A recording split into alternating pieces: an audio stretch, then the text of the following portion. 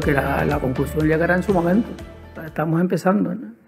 Y la voluntad es llevar a cabo no solamente el proyecto, sino la voluntad, no, aquí, aquí no hay dos partes, ni tres partes, aquí hay una parte, que es el Tenerife. Los accionistas mayoritarios son muy importantes, pero los accionistas minoritarios también son muy importantes. Y en este proyecto no se excluye a nadie. Tenemos que lograr ese proyecto integrador que del que hablaba, ¿no? Por lo tanto, yo confío plenamente en nuestras capacidades para hacer posible mm, lo que parece que, es complicado, del conciliar. eh, No, no, yo creo que, que lograremos. Hay un eje en común que es el Tenerife y será fácil de, de buscar posiciones eh, que estén en torno a- al, al objetivo. Bueno, yo creo que lo, lo primero es. eh, Estamos en la presentación de, de los objetivos del proyecto y lo primero es eh, serenarnos. ¿eh? Tenemos el objetivo claro, queremos, digamos que, buscar una mayor capacidad para poder tener una plantilla más competitiva. El cómo vamos a hacerlo, bueno, a lo largo ten- tendremos tiempo, ¿eh? Tenemos tiempo, estamos todavía cerrando la primera vuelta. Eh, de cara a los próximos meses tenemos tiempo de trabajar, pero el objetivo lo tenemos claro. Evidentemente, para el- a corto plazo, eh, la venta de activos no, proveniente de la fábrica y la cantera no parece que sea el que tengamos esa cosecha tan pronto, pero yo creo que tenemos que, tenemos que eh, tener la pausa suficiente como para en los próximos meses ir viendo el- cuál es el camino mejor ¿eh? y cuáles son las necesidades para tener una plantilla que, por cierto, tenemos una plantilla muy interesante, una plantilla muy competitiva. Ahora que se ha conseguido la recuperación de, de muchos jugadores y muy importantes para la entidad, yo creo que hay que tener la pausa para, para ver cómo marchan las cosas a lo largo de estos próximos meses. César Rivero eh, forma parte del orga- organigrama del club, eh, lleva prestando un servicio a la entidad, por lo que yo sé, eh, eh, pues muy bueno y por lo tanto en estos momentos no hay, nin- no hay ninguna, ningún tipo de, cambio. Va a seguir en, su- en sus responsabilidades y, el trabajo. Le tenemos un consejero deportivo, el que tendrá el, el contacto más directo con CC y lo que esperamos de cualquiera de CC es lo que esperamos de cualquiera de los empleados que están al servicio de la, entidad, eh, que sigan funcionando, que sigan prestando sus servicios en el, eh, como lo han hecho, eh, a la máxima satisfacción del, del Consejo.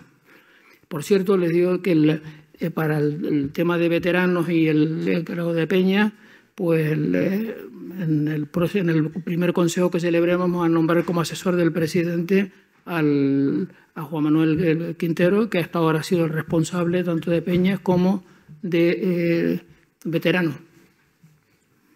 Pues yo creo que están haciendo un trabajo a satisfacción del consejo saliente y también del consejo entrante. Por lo tanto, no hay previsión de cambio. El- por lo que respecta a posibles eh, mejoras en el, mercado de invierno, eh, estaré con la- el oído puesto en lo que opinan los técnicos. ¿eh?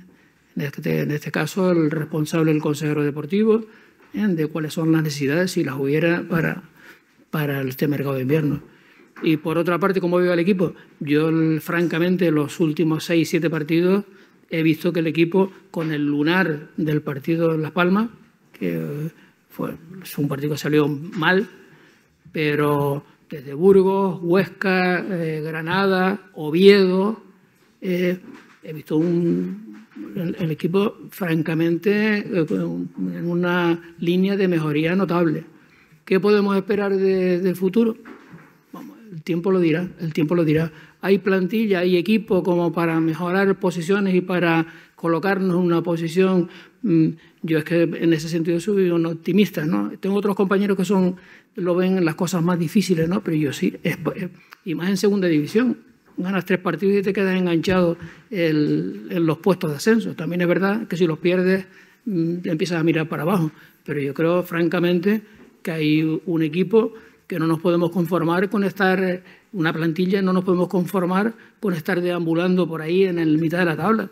Eh, eh, tenemos que hacer, eh, exigirnos todos y creo que este plantel debe de aspirar a, pelear hasta el último momento por incorporarnos al carro del, del ascenso. Bueno, desde ya un trabajo de, de medio a largo plazo. ¿no? Yo lo que digo es que en, de Tenerife han salido jugadores muy interesantes.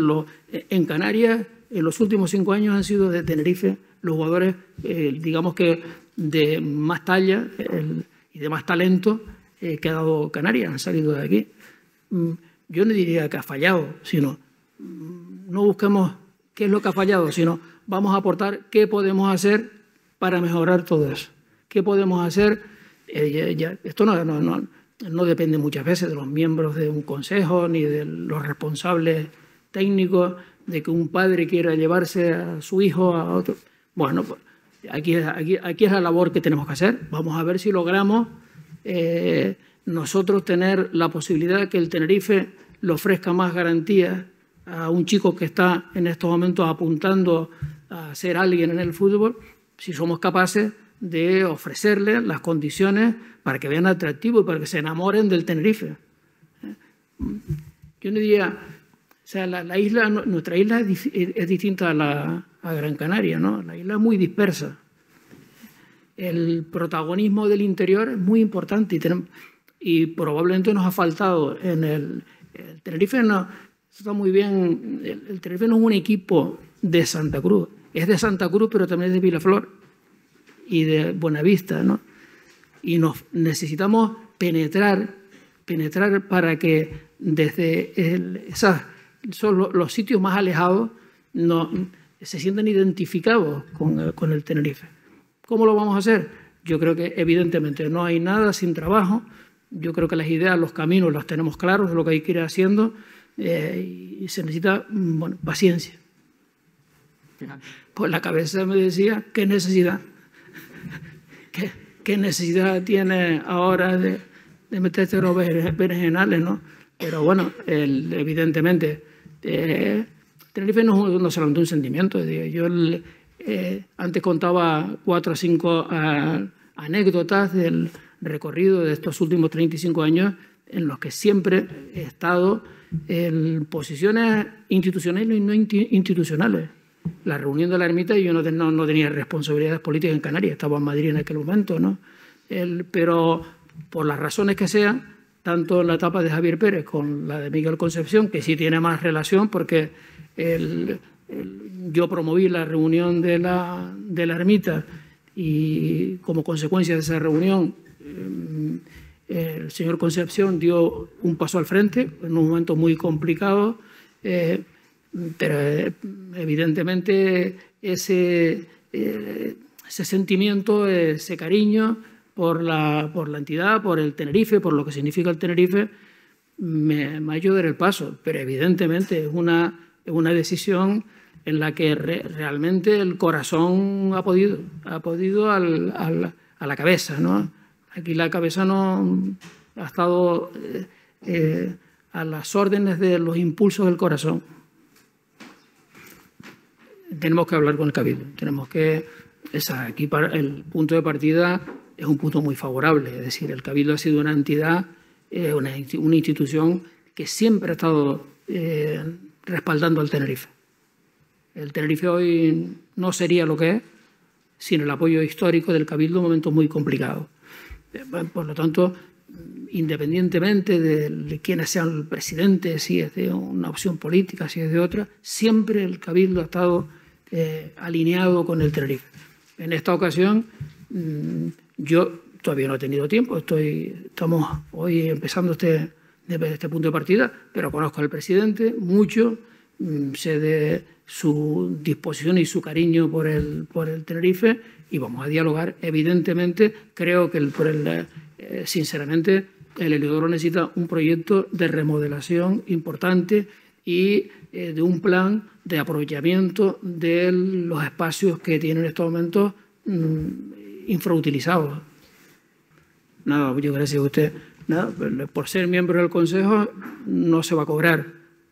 Por ser, por estar en el Consejo y desarrollar tareas determinadas, desde luego, quien tenga una tarea determinada encomendada tiene derecho a cobrar, porque lo que no podemos pedirle a esto es una empresa, no podemos pedirle el que, el, que le dedica tiempo, pues no tenga, tiene que cobrar el salario que le corresponda. ¿no? Por lo tanto, el que tenga una tarea determinada tiene derecho a cobrar.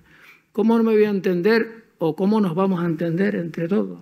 Evidentemente, con el, el Consejo nos vamos a entender a la perfección, sin ninguna duda.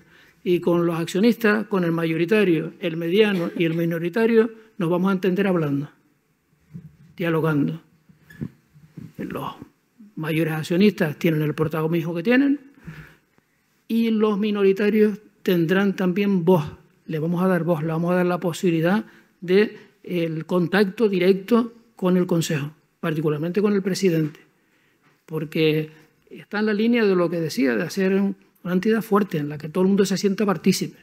Y evidentemente, el que más acciones tiene, tiene más capacidad para, para marcar pautas, para orientar pautas, para el, eh, plantearle al Consejo las líneas, pero los, los, minoritarios son muy importantes. Aquí contamos con los 34.000 accionistas que tiene el Tenerife.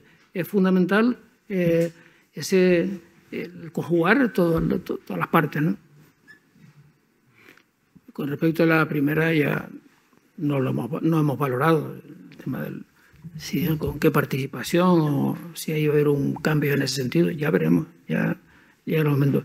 El, objetivamente y sinceramente, yo como tinerfeñista, como aficionado al Tenerife, a mí los actos del centenario en un 90 y largo por ciento me emocionaron y me enorgullecieron centenario, desde el punto de vista de las exposiciones, desde el punto de vista de lo que se hizo en todo. Precisamente una de las labores de las que estaba yo comentando antes, de penetración social, el meterse en los pueblos, creo que ha sido un magnífico acierto el introducir las exposiciones en, todos los municipios de la isla.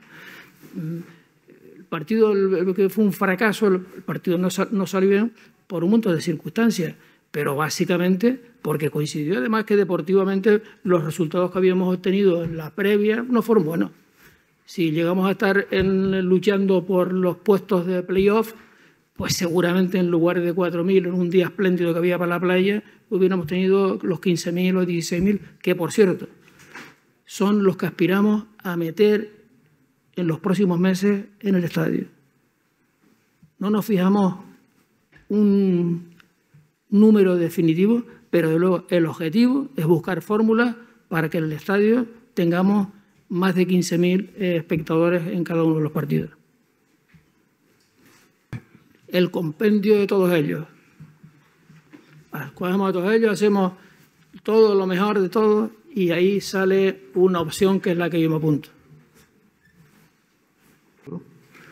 Yo soy partidario ahora mismo de tener un estadio digno, que es el Heliodoro Rodríguez López, por eso es el primer objetivo.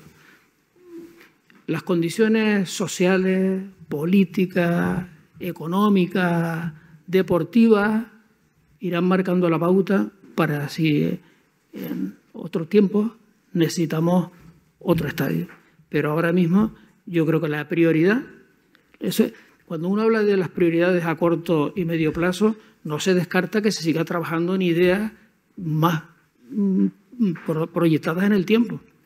Proyectadas me refiero en el tiempo, en, el, largo plazo, es decir, entendiendo el corto plazo, los próximos eh, cuatro o cinco años, desde luego la prioridad es el heliodoro, el, porque aspiramos a subir antes de los, cinco, de los próximos cinco años y en cinco años no hay un estadio nuevo.